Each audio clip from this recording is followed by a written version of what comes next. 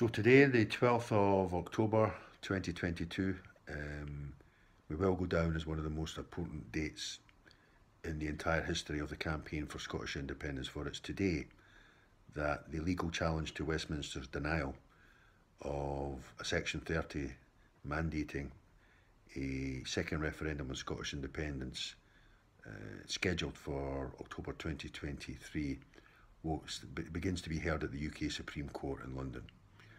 Now, Alex Salmond, former First Minister and former head of the SNP, has criticised Nicola Sturgeon uh, for taking this approach, and on a certain level, I understand why. Morally, it's rebarbative that we in Scotland have to seek the permission of uh, the, the court of uh, the UK Supreme Court uh, for uh, the ability to hold a second referendum. His argument is that the only entity that we should be seeking permission from is the Scottish people. Uh, I agree, morally, but we are where we are. We, we, we, we, are, we exist in a certain reality and we have to operate on that basis. And Nicola Sturgeon has to exhaust all legal political channels uh, before embarking on any plan B, which her plan B, which is very astute, is to, in the event that permission is denied or cooperation is denied or withheld, to hold a second refer referendum on Scottish independence, that she will fight the general election in 2024 on the single issue of independence, hoping to achieve an enhanced mandate, uh, which I think she will. And we have to take people with us. And if Westminster continues continues to deny cooperation or permission, it's permission really we're talking about, then that will only inflame passions in Scotland. Uh, and it will win more support on the basis of democracy because it will reveal the UK to be less a union of equal constituent nations and more a prison house of nations, along the lines of the old uh, Tsarist empire the, of the 19th century.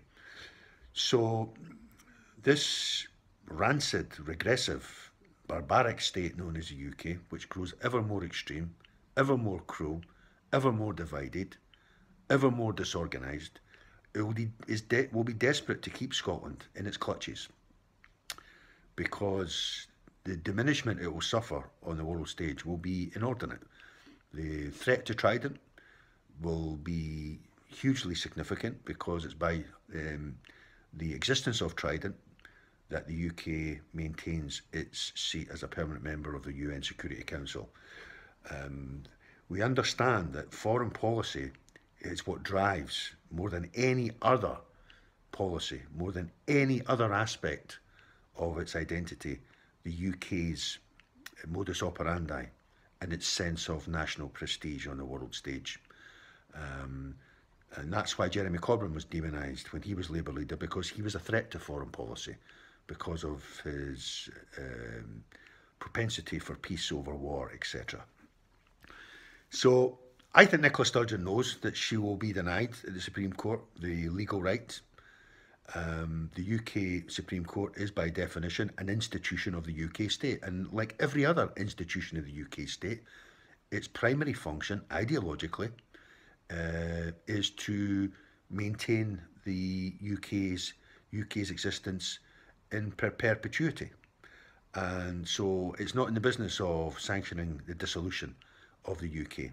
And on that basis alone, the legal argument which I'm really interested to hear at the end of the of of, of, this case, uh, of this hearing, um, to see what they come up with.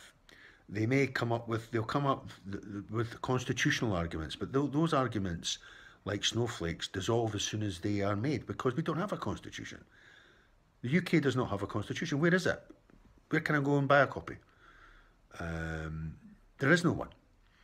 Uh, it's bullshit. It always has been bullshit. They make it up literally as they go along. So uh, we have to be patient. Nicola Sturgeon has the right, as a leader of the SNP, and leader of the Scottish Government, uh, to to devise a strategy to take it forward. And uh, I hope she has success, but as I say, I think it's inevitable that, that she will um, she will meet with disappointment. Though, as I say, I think she knows and she just feels she needs to go exhaust all channels. But we need to get away from this fucking shit show of a UK. Um, it's not fit for purpose. Uh, the Queen's funeral, I think, just confirmed that this is a state in which we have a ruling class that is the most regressive and the most impervious to change and reform of any in the entire industrialised world. The idea that King Charles should be the head of state of a putative independent Scotland is repellent to me.